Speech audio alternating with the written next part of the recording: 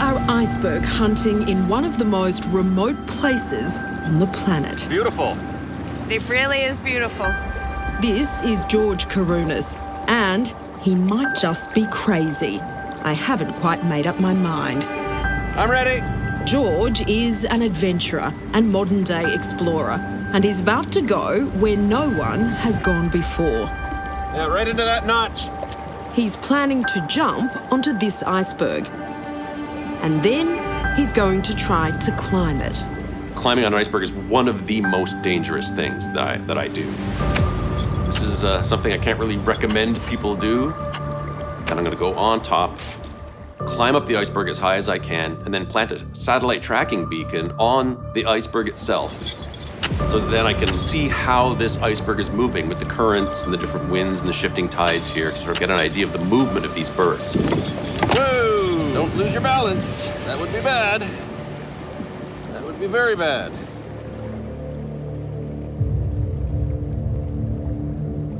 We're off the coast of Newfoundland, the most easterly point of North America.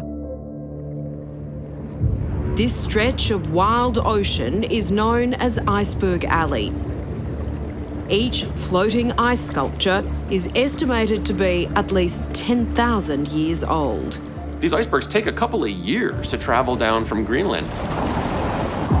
They calve off of these glaciers, they go to the Canadian Arctic, they swirl around in the currents up there, and then eventually drift down off the coast of Newfoundland and eventually out to sea where they melt. Icebergs are very particular because they're huge, they can be the size of apartment buildings, but they're also unstable. They want to move, they want to rock and roll. Pieces always want to break off. Sometimes they flip or even disintegrate, and literally, some of them will explode. So it's really dangerous.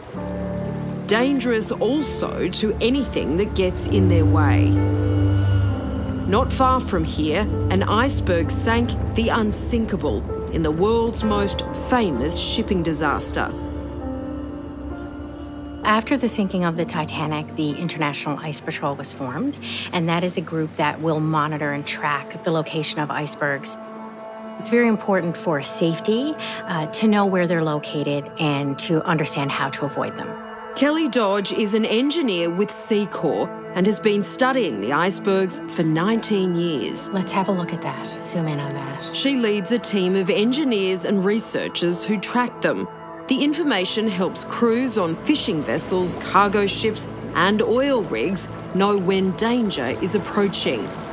If an iceberg hits an oil or gas rig, it could cause an environmental catastrophe. When they get too close, specialist crews either tow them away or break them up. I think the difference nowadays is that we have much greater means to track and find out where they are. So we use aerial reconnaissance, we use satellite reconnaissance, we use ship information, reports from individuals from shore. So we have uh, much more information available uh, to us in order to, to track them.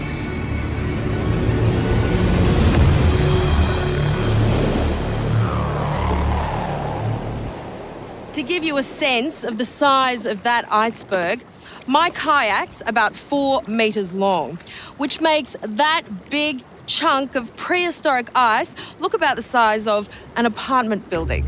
But that's only what we can see. 90% of it is below the surface, which means it's actually about the size of a football stadium. What lies beneath is just one reason they are so unpredictable and so dangerous. Captain Rick Stanley helps brave divers explore the underbelly of these floating giants. How unstable are icebergs? They are very unstable. They're unpredictable. You know, I know enough about icebergs to know nothing about icebergs. they are something that we don't know much about. And the unknown is a big part of the attraction for Captain Rick. He's been diving icebergs for decades and filmed this breathtaking underwater footage. It's sculptured by the sea and it's works of art by Mother Nature. Diving around an iceberg or climbing one, what's more dangerous? It's way more dangerous to climb an iceberg than dive on an iceberg. Uh, you have the water as your protector uh, when you're underwater. But if you're climbing on an iceberg and shit happens, that the iceberg starts to explode, well, that's it. It's lights out. It could be very uh, catastrophic for, for anybody that's, uh, that's close to him. George Kourounis knows the risks. The host of TV show Angry Planet has been called a real life Indiana Jones. I've rappelled down inside active volcanoes. I've been chasing tornadoes for 20 years. I drive into the eye of hurricanes. Basically, any time that Mother Nature is flexing her muscles and wants to maybe harm you, I'm usually nearby with a camera rolling. Why? We spend so much time going from our air conditioned, climate controlled houses to our climate controlled car to our climate controlled jobs. We spend very little time experiencing the true awe of nature, seeing something that's bigger and more powerful than you. I'm ready. And feeling the ground shake, feeling the wind on your face, being in the presence of these tremendous forces makes me feel humble, it makes me feel awe, and it's, it's like a drug. I just keep coming back. And this iceberg season, he's found a fresh summit to be conquered. How's it looking to you, George? I'm really liking the angle. I should be able to get onto this no problem. Every iceberg that you step on is likely a spot where no human has ever set foot. 12 people have been on the surface of the moon. You step on that iceberg, only one person's ever been there. We're off the coast of Canada with adventurer George Kourounis. Every year, between 400 and 800 icebergs reach this remote stretch of water known as Iceberg Alley.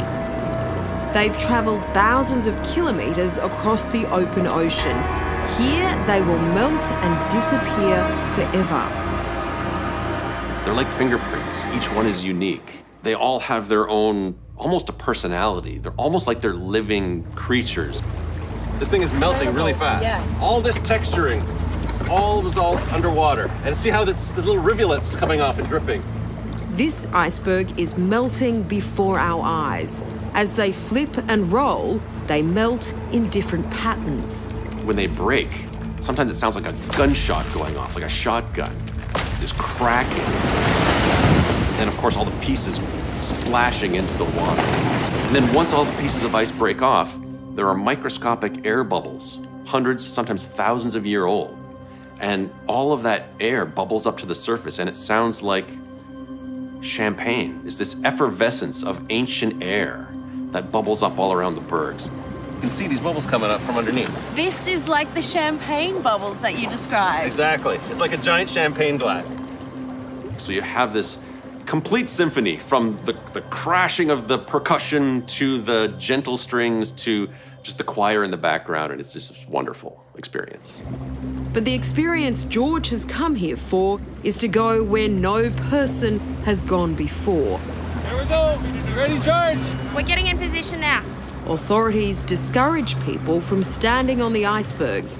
You're on. George insists no one should copy him. Comms are good.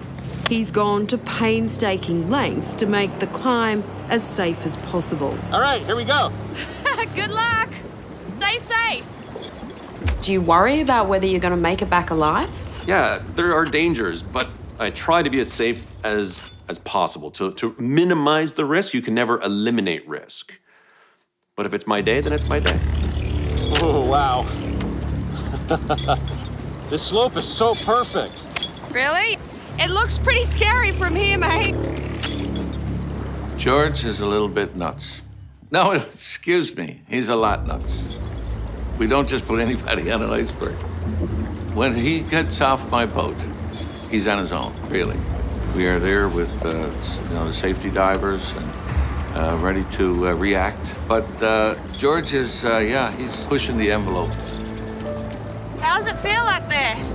My big concern is slipping off of this thing because the ice is so brittle. Whoa! Don't lose your balance. That would be bad. I'm just gonna keep going up. Okay.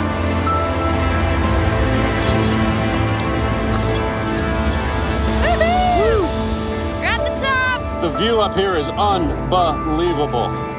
Got a 360 degree view of Conception Bay, and it is a perfect, beautiful day up here. What are you feeling when you're up on an iceberg?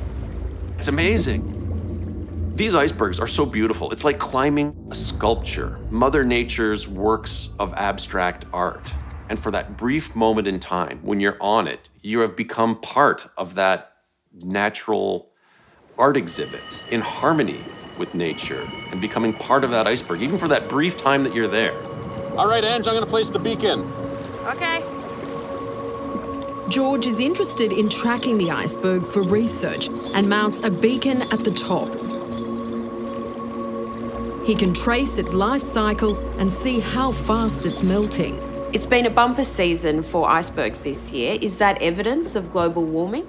Well, it's hard to say. It's it's hard to pin any one single iceberg season on climate change or global warming. It's it's only one data point in a long series of data points, and by averaging them and looking at trends over multiple years and decades, then we can get a really good idea. But certainly there's value in each data point. Okay. Slow and steady.